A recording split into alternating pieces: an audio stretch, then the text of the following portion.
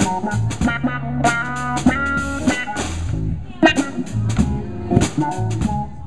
you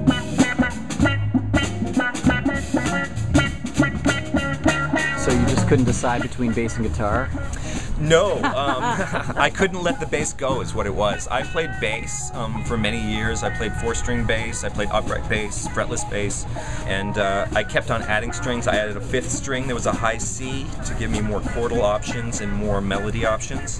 Uh, I eventually got a six string bass and kept on adding. It. Once I saw Charlie Hunter doing the eight string guitar type of thing, I was totally sold. Being able to play the guitar and the bass uh, definitely keeps me busy, and it keeps me from being too busy on the bass.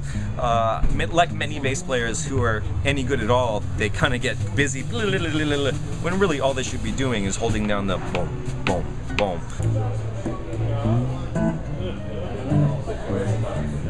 Every bass player should have one. So what? Tell me about the tuning. EAD, like a regular bass guitar, Yeah. and then ADGBE, so minus the E string on the guitar side. Oh, so A, okay. I look at it as E, ADGBE with some meat in the middle. That's how I Yeah, a lot more people are starting to do this fan fret design. You know, Breedlove Guitars has a couple, Greenfield Guitars has a couple. Uh, fan frets, well, if you think about it, if you've ever seen a bass guitar and you've seen a regular guitar, you'll see that a bass guitar is longer and the fret spacing in between the frets is longer as well. So physics dictates that in order to have a lower tone, you need both a thicker gauge string, more diameter, as well as a longer period to stretch it over. It's such a versatile instrument. Um, you can really do whatever you want. I mean, if you really want to have the funk pop, pop slap type of thing, you can definitely do that.